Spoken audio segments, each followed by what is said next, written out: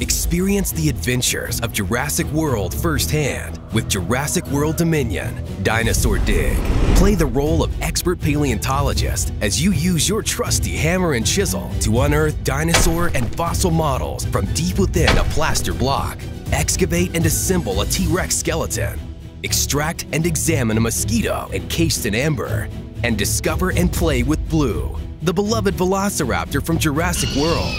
As you uncover your relics, you'll learn all about how fossils are formed, how DNA traces might be found in amber, and other exciting facts about your finds.